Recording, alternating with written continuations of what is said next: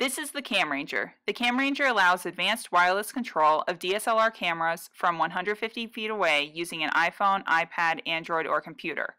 This is a motorized tripod head that is known by many names, including MP101, MP360, and sold by Bescor and Hague.